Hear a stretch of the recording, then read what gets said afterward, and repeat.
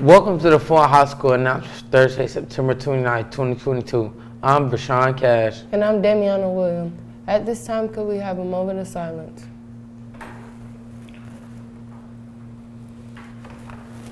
Now please stand for the Pledge of Allegiance. I pledge allegiance to the flag of the United States of America and to the republic for which it stands, one nation, under God, indivisible, with liberty and justice for all. The hard deadline for, is approaching for turning in work. Make sure all your work is turned in by fall break.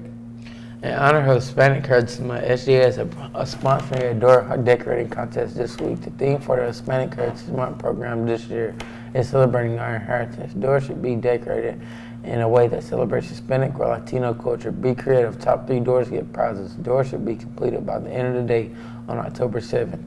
There will be a Hispanic Heritage Month celebration ceremony tomorrow afternoon in the auditorium. The school-wide assembly will begin at 2 p.m. The Falcon Brew is open now in the library in the morning from 7.50 a.m. to 8.15 a.m. The garden clubs meet Monday in Ms. Wixon room 102. We will then work in the garden from 3.45 to 4.45. You can earn up to one hour of community service.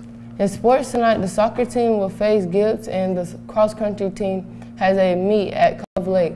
Tomorrow, the football team will travel to South Doyle. Kickoff is at 7 p.m. Have a great day and go Falcons.